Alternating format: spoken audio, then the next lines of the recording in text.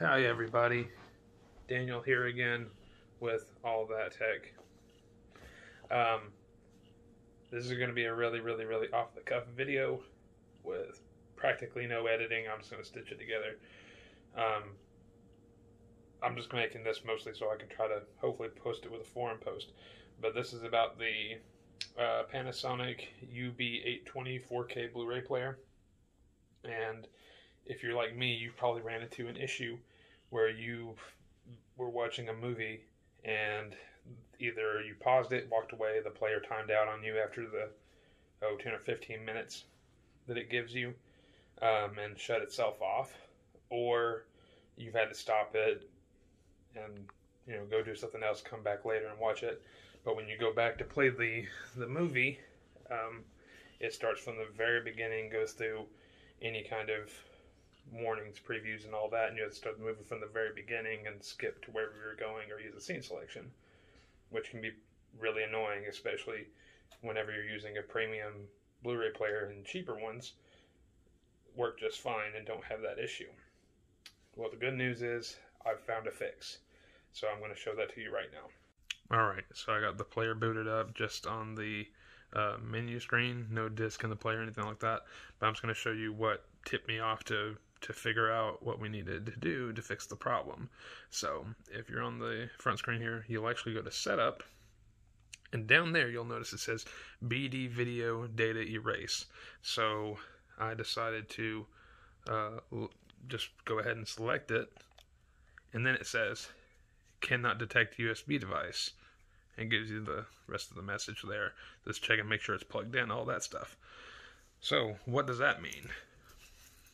That means that the player does not have any onboard storage, or at least not enough or anything dedicated to remember um, uh, pause points or anything in the movies you watch. So, what do you do to fix that? Something as simple as this. This is just a little cheap flash drive I've had laying around, doesn't have anything on it. I don't use it for anything. So, all you have to do is plug in some kind of USB storage. Um, does it just a simple flash drive uh, will be plenty because the amount of data that it needs to or space it needs to save uh, pause points in a movie or uh, is practically nothing. So I'm just going to show you real quick. Okay, and just to show you where you could hook it up. Um, this is not the ideal spot, but there is a uh, USB input there in the very front. There's also one in the back.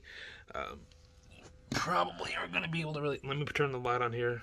Uh, if you see, it should be right here. So you just plug it in right there, flash drive, hard drive, whatever you want to use. So, and as you can see, I have my cheap flash drive plugged in and ready to go. And whenever you first plug in the USB um, flash drive or hard drive, like I said, really the only reason to use a hard drive is if you have additional things on there you want to watch, other uh, videos, movies, pictures, music, that kind of thing, um, it automatically pops us up if the player's on. So I'm going to go ahead and back out of that, but I have to go grab my controller. And we'll, we'll go ahead and pop in my 4K copy of The Revenant, since that is one of the discs that I tested it with to start with. I know I should have a pause point on it. So I got it started up it's always going to go through the first little 20th Century Fox there, at least on this movie.